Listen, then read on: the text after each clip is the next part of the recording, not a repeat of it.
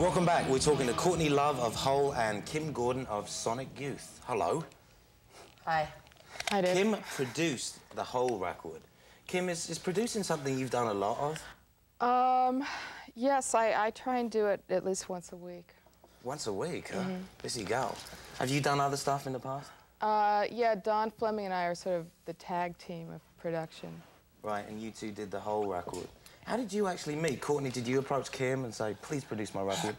she saw us open for um, a friend of mine's band, and then um, I wrote her a note, and I, I put a Japanese toy in the note, and uh, and uh, I just begged her basically in the note to produce. I sent her a rehearsal tape too. What kind of Japanese toy was it? It was. Can we talk about that on the air? It was a Hello Kitty item. Okay. This is us Japanese toy. Too. Yeah, we just want to say to President Bush, don't screw it up, man, because Japanese has a lot to offer. Yeah, they do. I, I, he should be careful over there. Let's take a look at the first video from the Hole debut album. This is Garbage Man from Hole's debut album, Pretty on the Inside. More coming up with Kim and Courtney.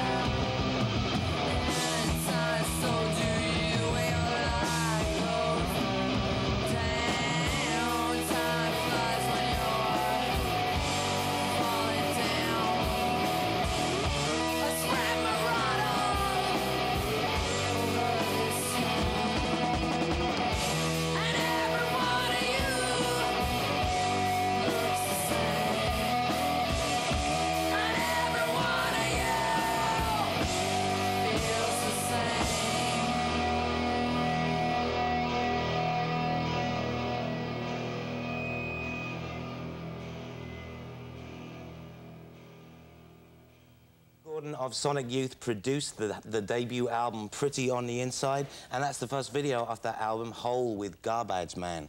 Courtney, do you like being in front of the camera? Is it something that comes natural to you? Um, it's okay.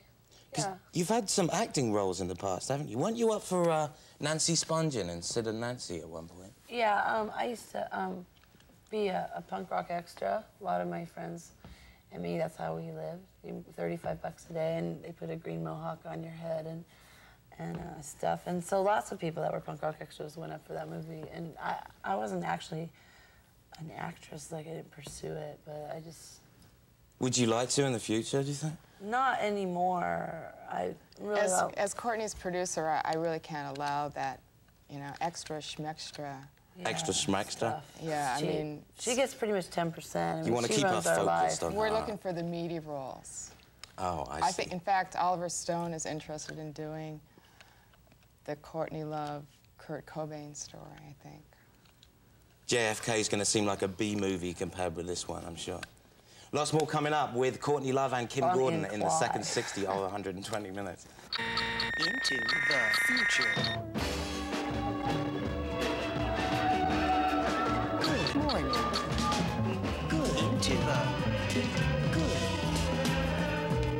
Our alternative extravaganza that kicks off every Sunday night at 11 p.m., 10 Central. In the next 60 minutes, we'll talk more with Hole front woman Courtney Love and Sonic Youth bassist Kim Gordon. We'll check in with the new music news and we'll check out videos from American Music Club, Toad the Wet Sprocket, Dramarama, Machines of Loving Grace, My Bloody Valentine, Mudhoney, and lots more. Right here, a world premiere video from REM. It's the band's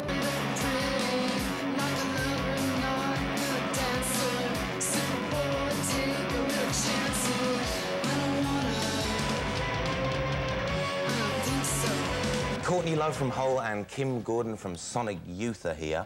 Um, the first Hole album, Pretty on the Inside, is on Caroline Records. But Courtney, uh, you've been approached by Madonna, I think. She's offered you a record deal or something?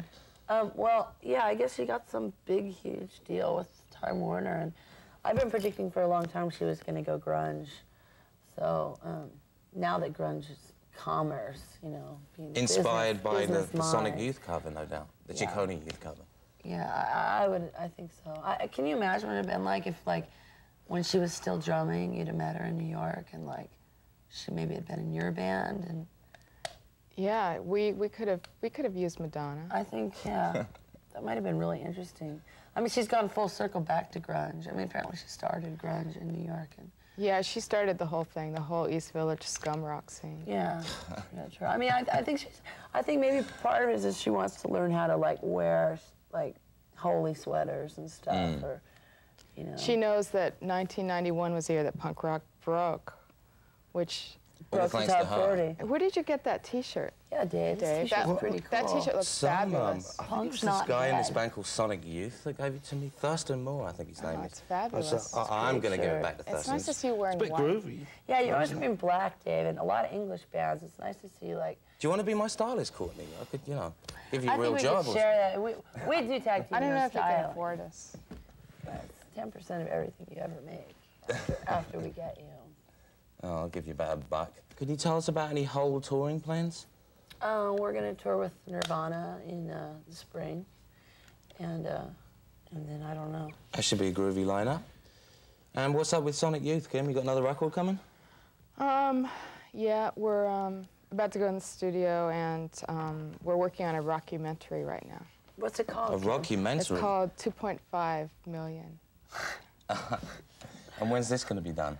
Um, sometime, sometime um, before next tour. All right, well, that's something to look forward to.